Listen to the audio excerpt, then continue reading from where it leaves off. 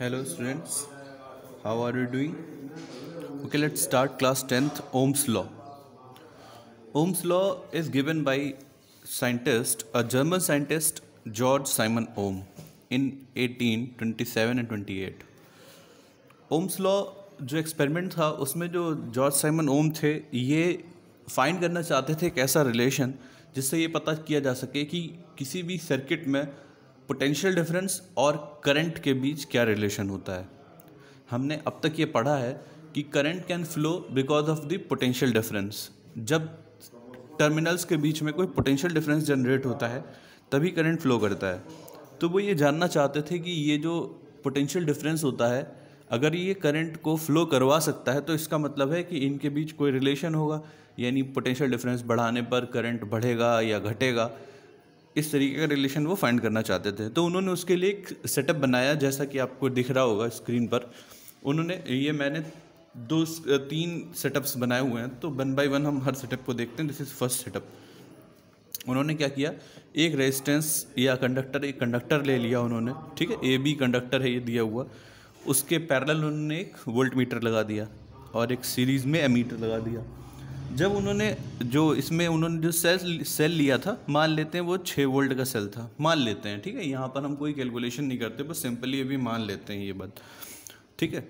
तो ही took six volt cell okay if he apply that 6 volt cell, the current produced in the circuit is 5 ampere मान लिया कि उन्होंने जब ये 6 वोल्ट की सेल लगाई तो यहाँ पर रीडिंग जो थी वो कितनी आई? फाइव एम्पियर आई। फिर उन्होंने क्या किया? उन्होंने सब कुछ वैसा ही रहने दिया, बस छः वोल्ट का एक और सेल इंट्रोड्यूस कर दिया। यानी अब 6 6 वोल्ट के दो सेल हो गए। यानी नेट कितना पोटेंशियल डिफरेंस हो गया? अब सर्किट का 12 वोल्ट हो गया ना? तो जब उन्होंने 12 वोल्ट का पोटेंशियल डिफरेंस कर दिया तो सर्किट में करंट कितना हो गया? टेन एम्पियर का हो गया। कितना हो गया? टेन एम्पियर का हो गया। इसके बाद उन्होंने फिर से उन्होंने क्या किया? सिक्स वोल्ट की एक और बैटरी जोड़ दी। यानी टोटल कितना पोटेंशियल डिफरेंस हो गया? 18 वोल्ट अब जो करंट था वो कितना हो गया? 15 एम्पियर हो गया। तो उन्होंने देखा कि हम जैसे जैसे पोटेंशियल डिफरेंस पोटेंशियल डिफरेंस को बढ़ा रहे हैं करंट भी बढ़ रहा है। Means there is a relation there is directly proportional relation between potential difference and current यानी जैसे जैसे हम पोटेंशियल डिफरेंस बढ़ाएँगे करंट बढ़ेगा। और अगर हम इसी डायग्राम को उल्टा तरफ़ ले जाएँ, यानी तीन सेल की बैटरी में पंद्रह एम्पियर का करंट है तो अगर हम दो सेल की बैटरी लगाएँगे तो दस एम्पियर का करंट रह जाएगा। फिर हम एक सेल की बैटरी लगाते हैं तो पाँच एम्पियर करंट रह जाता है, यानी कि ये डायरेक्टली प्रोपोर्शनल रिलेशन था। तो उन्होंने उसके लिए एक स्टेटमेंट दिया। उन्होंने कहा कि the current through a metallic element metallic element का मतलब जो होता है, ये कोई कंडक्टर भी हो सकता है, कोई लोड भी हो सकता है वट एवर यू लाइक आप कुछ भी मान सकते हैं। The current through a metallic element is proportional to the potential difference current क्या है? प्रोपोर्शनल होता है, ठीक है? Current through a metallic element is proportional to the potential difference applied between the ends यानी हम कितना पोटेंशियल डिफरेंस यहाँ दे रहे हैं, इस बात पर डिपेंड करता है कि करंट कितना फ्लो होगा। तो मान लेते हैं कि सर्किट का पोटेंशियल डिफरेंस कितना है V और उसमें करंट जो फ्लो कर रहा है कितना है I तो इसका मतलब रिलेशन क्या हुआ? Potential difference is proportional to current ठीक है? अब ओम्स लॉ की कुछ शर्तें हैं। ऐसा नहीं कि ओम्स लॉ हमेशा हर कंडीशन में फॉलो करेगा, ठीक है? तो ओम्स लॉ की जो दो बेसिक शर्तें हैं और जो बहुत ही इंपॉर्टेंट हैं, पहली शर्त क्या है? कि इस लॉ के लिए टेम्परेचर कैसा रहना चाहिए? कांस्टेंट कैसा रहना चाहिए? कांस्टेंट ये लिखा हुआ ना if the temperature is constant यानी एट कांस्टेंट टेम्परेचर ही हम ओम्स लॉ को अप्लाई करेंगे। अगर टेम्परेचर वेरी कर रहा है तो हम ओम्स लॉ को यूज़ नहीं करते हैं, और इस बात को डिटेल में आपको ट्वेल्थ क्लास में पढ़ने को मिलेगा। अभी हम लोग को उतनी डिटेलिंग में नहीं जाना है, ठीक है? तो पहला फैक्टर क्या हो गया? सर्किट का टेम्परेचर जो होता है या एलिमेंट का जो टेम्परेचर होता है it should remain constant second important thing length of the conductor should remain constant. ऐसा नहीं है कि आप एक बार एक्सपेरिमेंट करने के लिए जो कंडक्टर ले रहे हो, उसकी लेंथ आपने ले ली वन मीटर, फिर दोबारा आपने लिया तो उसके लिए वन पॉइंट फाइव मीटर, यानी आप लेंथ हमेशा क्या रखें? एक ही रखें, ठीक है? तो this is your Ohm's law तो हम आगे रिलेशन की तरफ़ बढ़ते हैं। जैसा कि हम पढ़ चुके हैं V is proportional to I तो जब प्रपोर्शनलिटी हटाते हैं तो हमने पढ़ा है कि there is also there is also a constant तो हमेशा एक कॉन्स्टेंट भी होता है। तो प्रोपोर्शनलिटी हटाई हमने तो यहाँ पर एक कॉन्स्टेंट आता है, जिसे हम कहते हैं आर रेजिस्टेंस क्या कहते हैं? रेजिस्टेंस अब इसका मतलब समझ लेते हैं क्या होता है। V proportional to R I या आई आर जो भी आप कहना चाहें। देखो, जैसा हमने ये देखा है कि हम किसी भी सर्किट में जब कोई कंडक्टर यूज़ करते हैं, ठीक है? तो उसमें जो करंट का फ्लो है, वो अकॉर्डिंग टू द मटेरियल जो होता है, वो बदलता रहता है। यानी अगर आप सर्किट में कॉपर वायर यूज़ करोगे, ठीक है? तो उसमें जो करंट प्रोड्यूस होगा, वो अलग होगा सेम वोल्ट की बैटरी के लिए। यानी छः वोल्ट की बैटरी के लिए अगर आपने कॉपर एलिमेंट यूज़ किया है तो जो करंट प्रोड्यूस होगा, वो ज़्यादा होगा। अगर आपने आयरन लिया है तो थोड़ा कम होगा। अगर आपने सिल्वर लिया है तो बहुत ज़्यादा होगा, ठीक है? तो ये जो कह सकते हो ना कंडक्टिविटी है इलेक्ट्रिकल करंट की, ये हर मटेरियल के लिए अलग होती है। ठीक है? यानी कि किसी सब्सटेंस में करंट ज़्यादा कंडक्ट करेगा, किसी एलिमेंट के लिए करंट जो होगा वो कम कंडक्ट करेगा।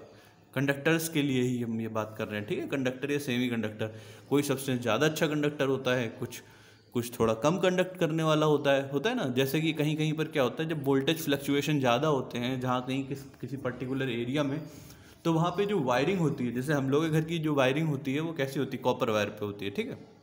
लेकिन अगर कहीं पे वोल्टेज फ्लक्चुएशन कम हो वोल्टेज फ्लक्चुएशन कम हो रहे हो और वहाँ पर कंसिस्टेंटली लो वोल्टेज आता हो, ठीक है? यानी मतलब हल्का वोल्टेज है, बल्ब धीमा जलता हो। तो ऐसी कंडीशंस में लोग क्या करते हैं? अपने घर की वायरिंग जो होती है, वो एल्यूमिनियम वायर से एल्यूमिनियम वायर से करवा लेते हैं। किससे करा लेते हैं? एल्यूमिनियम वायर से। ऐसा क्यों होता है? क्योंकि एल्यूमिनियम वायर की कंडक्टिविटी जो होती है, वो ज़्यादा होती है कंपेरेटिवली कॉपर वायर के। लेकिन रजिस्टिविटी जो होती है, वो एल्यूमिनियम वायर की कम होती है कंपेरेटिवली कॉपर वायर के, ठीक है? तो अभी हम लोग कंडक्टिविटी क्या होती है रजिस्टिविटी क्या होती है स्पेसिफिक रेजिस्टेंस क्या होता है रेजिस्टेंस क्या होता है, इन सारे फैक्टर्स को अभी पढ़ेंगे। फ़िलहाल हम यहाँ पर एक चीज़ को नोट कर लेते हैं कि किसी भी कंडक्टर में या किसी भी एलिमेंट में पोटेंशियल डिफरेंस और करंट के बीच जो घटने और बढ़ने का रिलेशन है, ये हमेशा किससे अफेक्टेड होता है? रेजिस्टेंस से, ठीक है? तो अगर हमने ये पढ़ा है कि potential difference is directly proportional to current तो relation between relation between current and resistance resistance क्या होता है? इसी फॉर्मूले से देखते हैं। तो यहाँ पर क्या है? V is proportional to I R है ना? यानी अगर आप वी बढ़ाओगे तो i की भी वैल्यू बढ़ेगी। लेकिन अगर मैं पूछूँ कि इन दोनों के बीच में क्या रिलेशन है तो कैसे पता करेंगे हम? तो क्या होता है, ये रिलेशन क्या होता है? R is proportional to one upon I R is proportional to one upon I यानी कि more the resistance more the resistance lesser the current current कैसा होगा? लेस हो जाएगा, ठीक है? अब इस बात को समझ लेते हैं कि ऐसा क्यों? एक मैथमेटिक्स के थ्रू समझते हैं, ठीक? सपोज़ मान लेते हैं कि हमें पढ़ा है हमने कि टेन इज़ इक्वल टू कितना होता है? टू इंटू फाइव होता है? मान लिया हमने, ठीक है? वैसे तो टेन का हम कोई भी फैक्टर बना सकते हैं, लेकिन हम एक फैक्टर लेके चल रहे हैं। टेन इज़ इक्वल टू कितना होता है? टू इंटू फाइव अब टेन को हम क्या मान लें? वी मान लें? टू को मान लें हम आर और इसे मान लें आई ठीक है? इसे हमने मान लिया आई तो हमें रिलेशन फाइंड करना R is inversely proportional to one upon I कैसे होगा? यहाँ पर क्या हुआ? मतलब समझाया जा रहा है कि अगर आप आर की वैल्यू बढ़ाओगे तो आई की वैल्यू आपको घटानी पड़ेगी। और अगर आप आर की वैल्यू घटाओगे तो आई की वैल्यू बढ़ानी पड़ेगी। यानी कि आप अगर इसकी वैल्यू बढ़ाओ तो इसकी वैल्यू घटा दो। और अगर आप इसकी वैल्यू बढ़ाओ तो इसकी वैल्यू घटा दो, ठीक है? तो जस्ट इमेजिन कि हम इसकी वैल्यू बढ़ाते हैं। तो हमने मान लिया इसकी वैल्यू क्या कर दी? फाइव टू की जगह हमने क्या कर दी? फाइव तो अब टेन लाने के लिए हमें आंसर तो हमें टेन ही लाना है ना? तो आंसर टेन लाने के लिए हमें इसकी वैल्यू कम करनी पड़ेगी। पड़ेगी ना? तो हमने क्या कर दिया? तो हमने आर की वैल्यू कम बढ़ा दी तो आई की वैल्यू कम कर दी। आंसर कितना आ गया? टेन तो जब भी कहीं ऐसा रिलेशन दिया हुआ हो तो जो आमने इक्वल टू के आमने सामने हमारे सब वो होते हैं आ, कह सकते हो ना जो क्वांटिटीज़ होती हैं वो सब डायरेक्टली प्रोपोर्शनल होती हैं। और आपस में, यानी अगर आप केवल इधर बात कर लो कि इनका आपस में रिलेशन क्या होगा तो ये इन्वर्सली प्रोपोर्शनल हो जाती हैं। कैसी हो जाती हैं? इन्वर्सली प्रोपोर्शनल हो जाती हैं। एक समझाने का एक तरीका था, ठीक है? तो ये तो हो गया relation between current and resistance यहाँ तक किसी को कोई डाउट नहीं होगा। अब हम आगे बढ़ते हैं। अब हमने पढ़ लिया है फॉर्मूला यहाँ पर एक हमारा टर्म आया है आर आया ना? तो वी अपॉन आई तो आर को हम क्या कहते हैं? रेजिस्टेंस ऑफ़ द कंडक्टर और द एलिमेंट एलिमेंट का करंट सॉरी रेजिस्टेंस कहलाता है ये। सॉरी तो ये जो आर होता है, इसका फॉर्म इसकी यूनिट और इसकी डेफिनेशन कैसे बनाते हैं? ठीक है? आर यानी रेजिस्टेंस की यूनिट और डेफिनीशन तो यहाँ पर हेडिंग डाल लें रेजिस्टेंस अभी हम लोग इस चीज़ को बहुत डिटेलिंग में पढ़ेंगे। रेजिस्टेंस तो जो रेजिस्टेंस होता है, ये फॉर्मूला हमको मिला है R is equal to V upon I तो unit of potential difference upon unit of current लिखेंगे हम यहाँ पर। तो पोटेंशियल डिफरेंस की यूनिट क्या होती है? वोल्ट और करंट की एम्पियर तो ये क्या हो गया? वोल्ट पर एम्पियर और इसी वोल्ट पर एम्पियर को हम क्या लिखते हैं? इन साइंटिस्ट के नाम पर ही लिखते हैं ओम क्या लिखते हैं? ओम और ओम का सिंबल कैसा होता है? ये इस तरीके से। ओम का सिंबल होता है। क्लियर है सबको कि ओम्स लॉ में जो ओम है, वो क्या होता है? ओम का मतलब वोल्ट पर एम्पियर। वैसे वो साइंटिस्ट का भी नाम है और एक यूनिट भी है, ठीक है? कोई कंफ्यूजन नहीं रखते हुए हम आगे बढ़ते हैं। तो अब अगर हमसे पूछा जाए कि सर, अब ये वन ओम क्या होता है? वन ओम की डेफिनेशन क्या होती है? Definition of one ohm definition of one ohm one ohm की डेफिनेशन अगर हमें निकालनी है तो हम क्या करेंगे? सबसे पहले हम क्या करते हैं करंट को कितना मान लेते हैं यूनिट वन एम्पियर कितना मान लेंगे कि current if current through a conductor through a conductor is one ampere मान लिया हमने वन एम्पियर का करंट दिया एंड पोटेंशियल डिफरेंस कितना कर दिया है पोटेंशियल डिफरेंस इसे हमने कर दिया है वन वोल्ट कितना कर दिया? वन वोल्ट कर दिया. ठीक है? तो इस कंडीशन में जो आर होगा, ये किसके बराबर हो जाएगा? One upon sorry R is equal to one volt per ampere volt per ampere इसका मतलब और इसे ही हम इस, इसे क्या कहते हैं? वन ओम कहते हैं ना? तो इसे हम क्या कहेंगे? One ohm. रेजिस्टेंस की यूनिट क्या होती है? ओम। तो वन ओम किसके बराबर हुआ? वन वोल्ट पर एम्पियर के? हुआ ना बराबर? तो इसकी डेफिनेशन कैसे लगाई जाएगी? The resistance the resistance of a conductor is said to be 1 ohm 1 ohm if one ampere of current या one ampere current, one ampere current flows through flows through, it when a potential difference a potential difference uh, between potential difference of 1 volt of 1 volt is applied is applied across the ends of conductor ends of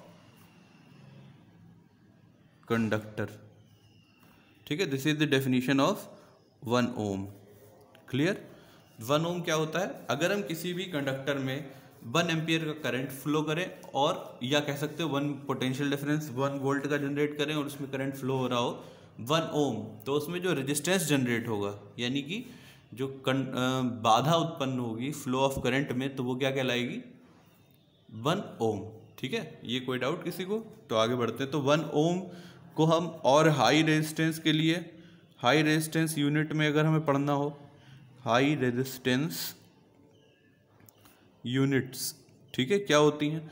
तो जैसे high resistance unit में हमारी क्या होती है? एक होती है one kilo ohm kilo ohm. तो वन किलो ओम जो होता है ten to the power three ohm के बराबर होता है। किसके बराबर होता है? Ten to the power three ohm. और वन मेगा ओम की अगर हम बात करें वन मेगा ओम तो ये किसके बराबर हो जाएगा तुम्हारा? Ten to the power six ohm, ठीक है? यहाँ तक किसी को कोई डाउट? अब हम अगले इसी टॉपिक को और डिटेल में समझते हैं, जो क्या कहलाता है हमारा कंडक्टर, ठीक है? Sorry, resistance. हमारा अगला टॉपिक है, वो क्या है? रेजिस्टेंस। रेजिस्टेंस। या कॉन्सेप्ट ऑफ़ रेजिस्टेंस अभी हमने मैथमेटिकली समझा कि ये कहाँ से आया है, क्यों आया है, लेकिन अब इस कॉन्सेप्ट को थ्योरेटिकली समझते हैं। ठीक है? अब हमने अब तक ये पढ़ा है ड्रिफ्ट वेलोसिटी और थर्मल वेलोसिटी पढ़ चुके हैं। तो हमने ये उसमें देखा था कि किसी भी करंट किसी भी कंडक्टर में फ्री इलेक्ट्रॉन्स जो होते हैं, वो मूव कर रहे होते हैं। मूव कर रहे होते हैं ना? जैसे ये फ्री इलेक्ट्रॉन्स बनाए ले रहे हैं हम। ठीक है? ये फ्री इलेक्ट्रॉन्स हैं।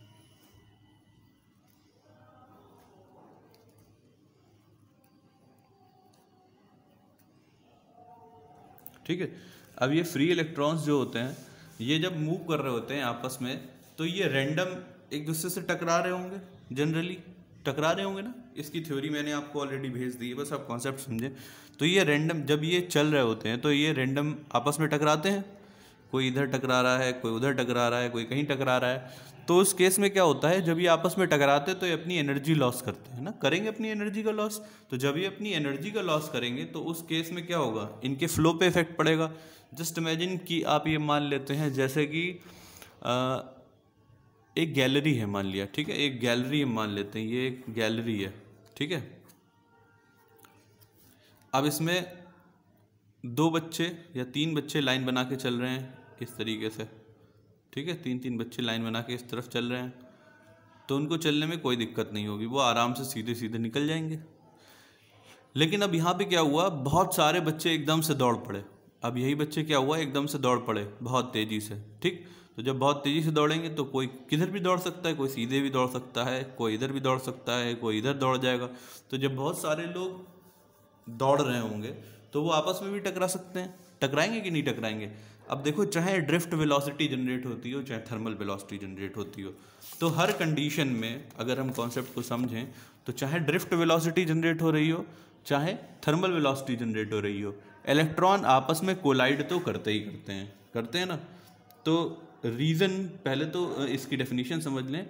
ये क्या होता है? रेजिस्टेंस जो होता है ऑब्स्ट्रक्शन ऑब्स्ट्रक्शन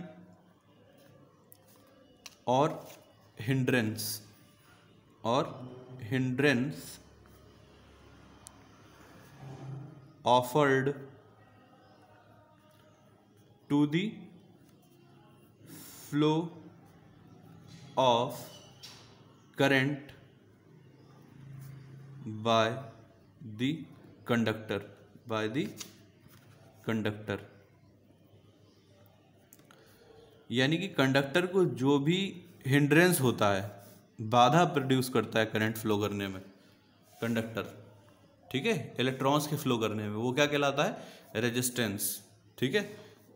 सॉरी इसका कॉज क्या होता है? ये होता क्यों है? तो पहला पहला कॉज क्या होता है? आप कह सकते हो कि free electrons electrons collides with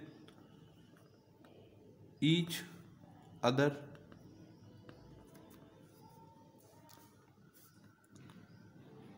ऐसे ही free electrons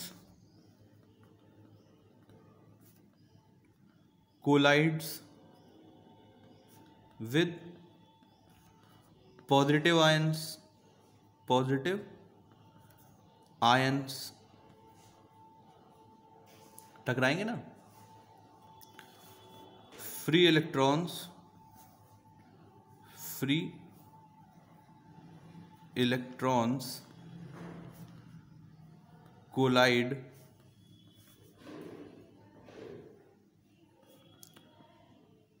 with the boundary of the conductor boundary of the conductor ठीक है? ये जो फ्री इलेक्ट्रॉन है, आपको ये दिख रहा है, ये क्या होगा? ये आपस में भी टकरा सकता है, ठीक है? ये आपस में भी टकरा सकता है।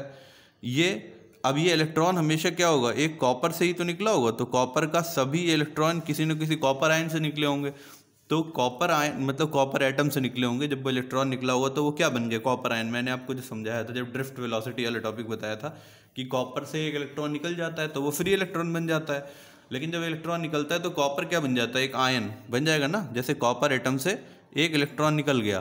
तो अब ये क्या बचा? कॉपर आयन बन गया ना? कॉपर आयन बन गया ये।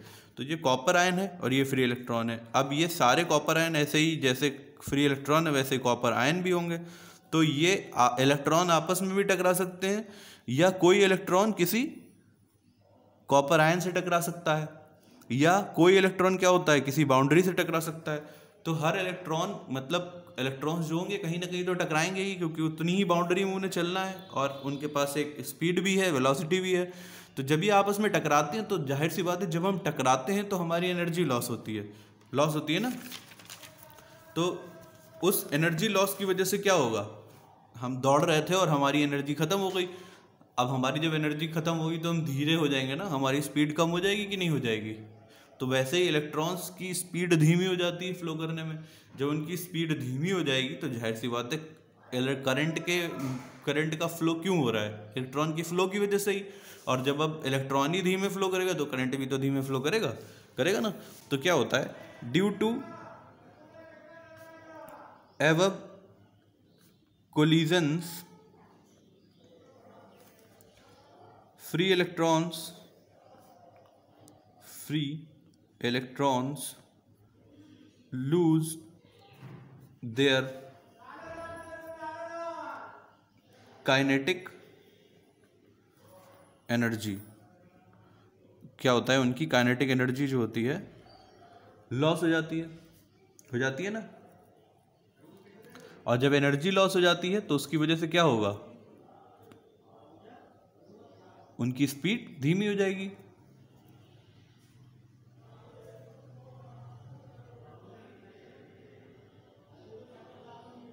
तो इस केस में क्या होगा? अब एक टक्कर के बाद मतलब एक टक्कर में उन्होंने क्या किया? अपनी एनर्जी लॉस कर दी। फिर वो दोबारा एक्सेलरेशन जनरेट करते हैं काइनेटिक एनर्जी बट अब इनके बीच में एक पोटेंशियल डिफरेंस तो है ही पहले से ही। But due to continuous potential difference potential difference these free electrons these free electrons again increases their speed again increases their speed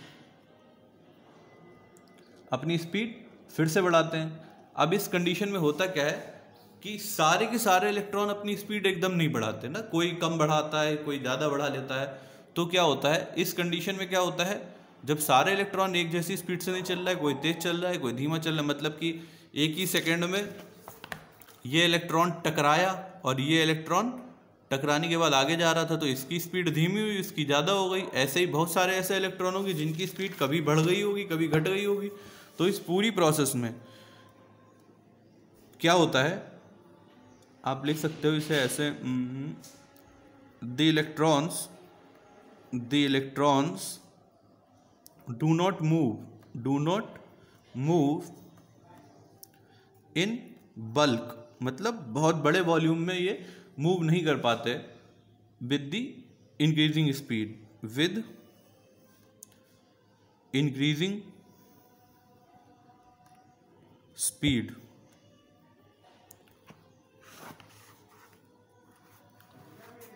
but there is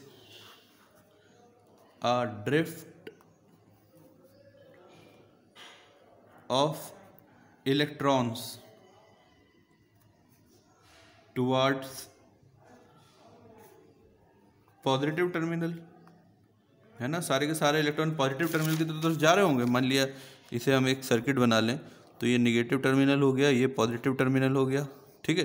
तो इलेक्ट्रॉन सब इधर ही जा रहे होंगे, चाहे वो आपस में टकराएँ, चाहे ना टकराएँ, लेकिन वो जा तो इधर ही रहे होंगे, सारे के सारे। अब क्या हो रहा है? इलेक्ट्रॉन इधर भी टकरा सकता है, किसी कॉपर आयन से भी टकरा सकता है, किसी वॉल से भी टकराएगा तो क्या होगा? कोई अपनी स्पीड बढ़ा रहा होगा, उसी टाइम किसी की स्पीड टकराने की वजह से धीमी हो गई होगी। तो एज अ होल सब एक साथ नहीं जा रहे, कोई रुक गया है, कोई धीमा हो गया है, कोई तेज हो गया है तो एज अ होल पूरे बल्क में जो वॉल्यूम में इलेक्ट्रॉन है, उन सब की स्पीड अलग अलग हो गई है। हो गई है ना? तो उससे क्या होगा? जो करंट होगा, जो वायर के अंदर क्या होगा? एक रेजिस्टेंस जनरेट हो गया ना? Drift in electrons towards the sorry towards the positive terminal and this is how this is how conductor offers resistance resistance to the flow of electron to the flow of electron ठीक है ये तो हमारी theory हो गई कि होता कैसे है अब हम पढ़ेंगे factors affecting factors affecting factors affecting the resistance. ठीक है, इसकी थ्योरी आपको मैं पहले ही सेंड कर चुका हूँ तो हम वन बाय वन फैक्टर्स पढ़ लेते हैं। पहला क्या होता है? Nature of the conductor nature of the conductor the conductor अब नेचर ऑफ़ द कंडक्टर का मतलब क्या हो गया? अब अगर कोई सब्सटेंस ऐसा है जिसका रेजिस्टेंस लेस होगा तो वो ज़्यादा अच्छा कंडक्टर होगा। जिसका रेजिस्टेंस ज़्यादा होगा, वो इंसुलेटर होगा या क्या कह सकते हो आप? पुअर कंडक्टर होगा, ठीक? तो यहाँ पे आप क्या कह सकते हो? Substances like copper silver iron aluminium have less resistance. So they are good conductor. So they are good conductors whereas whereas rubber plastic okay have more resistance more resistance so they have less और no conduction और no conduction यानी ये कैसे होते हैं? Insulator होते हैं। क्या होते हैं? इंसुलेटर होते हैं। तो हमने एक चीज़ और समझी, यानी कंडक्टर और इंसुलेटर के बीच का रिलेशन जो होता है, वो क्या हो सकता है? रेजिस्टेंस की वजह से भी हम कह सकते हैं कि दे आर कंडक्टर और इंसुलेटर। यानी जिसमें हमने क्या कहा था, हम कंडक्टर इंसुलेटर की एक डेफिनेशन हमेशा देते आए हैं। क्या होता है? जिनमें ज़्यादा करंट फ्लो होता है दे आर गुड कंडक्टर ऐसे ही जिनमें कम रेजिस्टेंस होता है दे आर गुड कंडक्टर कह सकते हैं ना? सॉरी ऐसे ही हमने ये कहा है कि substances which can not flow electric current तो इसका मतलब हुआ कि उनमें रेजिस्टेंस ज़्यादा है mean the substances which have high resistance they are good conductor ठीक है? तो ये तो कंडक्टर की बात होगी नेचर ऑफ़ द कंडक्टर अब जो हमारा अगला टॉपिक है, वो क्या है? सेकेंड पॉइंट है हमारा, इसे आप कहोगे length of the conductor length of the conductor the conductor ठीक है? अब length of the conductor resistance को देखो रेजिस्टेंस किस पर डिपेंड करता है? फ्री इलेक्ट्रॉन्स पर, ठीक है? अब मान लिया कि एक छोटा सा ये एरिया ले लिया आपने, ठीक है? ये, और ये एक लंबा लेंथ ज़्यादा लेंथ ले ली हमने, ठीक है? अब इसमें फ्री इलेक्ट्रॉन्स कम टकराएँगे, या इसमें फ्री इलेक्ट्रॉन्स कम टकराएँगे? सबसे ज़्यादा गुंजाइश फ्री इलेक्ट्रॉन्स की, ज़्यादा टक्कर की किधर है? बड़े एरिया में ना, क्योंकि बड़े, ये जो बड़ा आपका रास्ता होगा, इसमें ज़्यादा टकराएँगे वो। तो जब ये ज़्यादा टकराएँगे तो इस केस में क्या होगा? पानी जो होगा अगर आप यहाँ पे पानी की बात करो तो छोटे एरिया से पानी जल्दी आएगा, लंबे एरिया से पानी देर में आएगा। आएगा कि नहीं आएगा? तो जो लंबे सॉरी लेंथ से जब पानी देर में आएगा तो उसका मतलब है कि उसमें फ्लो धीमा होगा और छोटे में फ्लो जल्दी हो जाएगा। तो इसका मतलब क्या होता है? Resistance is proportional to length अगर रेजिस्टेंस लेंथ ज़्यादा होगी तो रेजिस्टेंस भी ज़्यादा हो जाएगा। क्यों? More length can cause more collisions more collisions है ना? इसीलिए लेंथ और रेजिस्टेंस के बीच का ये रिलेशन हम कह सकते हैं।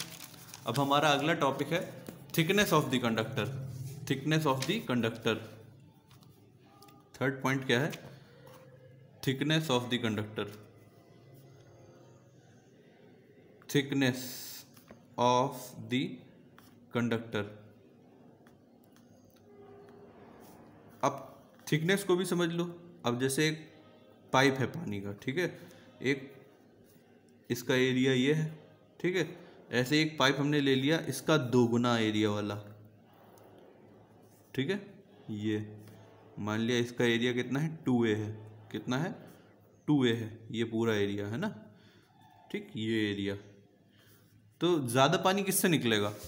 इससे या इससे? ये ए मान लो, ये बी मान लो तो डेफिनेटली ज़्यादा पानी किससे निकलेगा? बी से निकलेगा ना? तो इसका मतलब अगर आप एरिया बढ़ा दोगे तो ज़्यादा पानी फ्लो कर सकता है, ज़्यादा करंट निकल सकता है। जब ज़्यादा करंट फ्लो होगा, इसका मतलब रेजिस्टेंस कम हो जाएगा। Due to more area of cross section area of cross section more electrons can flow through it मतलब कि अब ज़्यादा जगह हो जाएगी तो इलेक्ट्रॉन टकराएँगे नहीं आपस में? टकराते कब हैं? जब एरिया छोटा कर दो तो इतने में इलेक्ट्रॉन जैसे इतने में से दस इलेक्ट्रॉनों को गुजरना है, कितने इलेक्ट्रॉन गुजरने इतने में से मान लिया कि ये तो छः ही बन पाए तो छः इलेक्ट्रॉन यहाँ से गुजरना है और छः इलेक्ट्रॉन यहाँ से गुजरना है। कहाँ आराम से गुजरेंगे? इसमें आराम से गुजरेंगे ना? इनमें टक्कर होने की गुंजाइश कम होगी। तो जब इसमें टक्कर होने की गुंजाइश कम है तो इसका मतलब इसमें रेजिस्टेंस कम है। जब रेजिस्टेंस कम है, इसका मतलब इसमें कंडक्शन ज़्यादा हो गया, ठीक है? Can flow through it more तो हम क्या कह सकते हैं? एक बात तो ये हो गई, दूसरी बात क्या कहते हैं? More area reduces the chance of collision इससे क्या होगा? लेस रेजिस्टेंस जब हो जाएगा तो इसका मतलब क्या हो गया? Resistance is inversely proportional to the area of cross section area of cross section clear हम आगे बढ़ते हैं। अगले टॉपिक की तरफ़। ये हमारा अगला टॉपिक हो गया। अब इसके बाद हमारा जो नेक्स्ट टॉपिक है temperature of the conductor next fourth क्या है? टेम्परेचर ऑफ़ द कंडक्टर तो देखो, ये बात तो मैं पहले ही बता चुका हूँ कि हर सब्सटेंस किसी न किसी टेम्परेचर पे तो होता ही है और उस टेम्परेचर के पास की वजह से उसके ऊपर थर्मल वेलोसिटी होती है। अगर आप टेम्परेचर बढ़ा दोगे तो थर्मल वेलोसिटी भी उसकी क्या होगी? बढ़ जाएगी। और जब थर्मल वेलोसिटी बढ़ जाएगी तो रेजिस्टेंस क्या होगा? बढ़ जाएगा ना? थर्मल वेलोसिटी बढ़ने से क्या होगा? रेजिस्टेंस बढ़ जाएगा due to increase in temperature thermal velocity of free electrons will increase उनकी फ्री इलेक्ट्रॉन्स की वेलोसिटी बढ़ जाएगी और जब उनकी ये वेलोसिटी बढ़ जाएगी